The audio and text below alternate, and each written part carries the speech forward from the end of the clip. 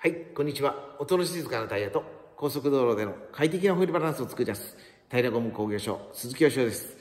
今日は2022年6月23日木曜日です。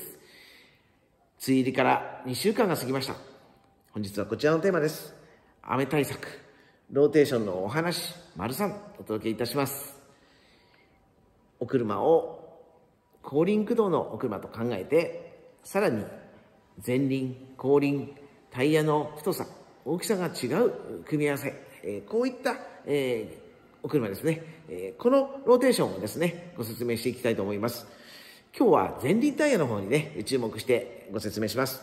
えこちらのですね、えータイヤ前輪をですね、えー左右見ていただいたときに、タイヤの角、えー隅の部分ですね、こういったところがだんだんですね、削れてきた。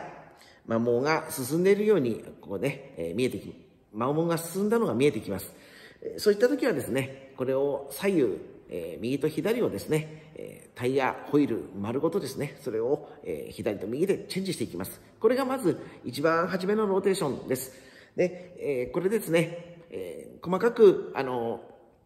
いろんなことを考えていくとですね、まだまだえやる方法とかですね、あるんですね。ですので、あの、詳しい内容ですね、もっと深くこうお知りになりたい方はですね、えーぜひお問い合わせをいただきたいと思います。個別にご対応させていただきます。えーまたですね、このローテーションで、えー不安に思っていること、こうですね、えーまたこうね、え気になっていることなどございましたらね、ぜひお問い合わせいただきたいと思います。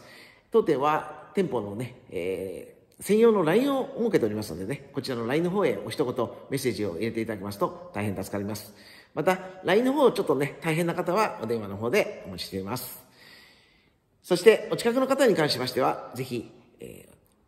お顔を合わせてですね、おお話しさせていただきましたら大変嬉しく思います。本日も最後までご覧いただきましてありがとうございます。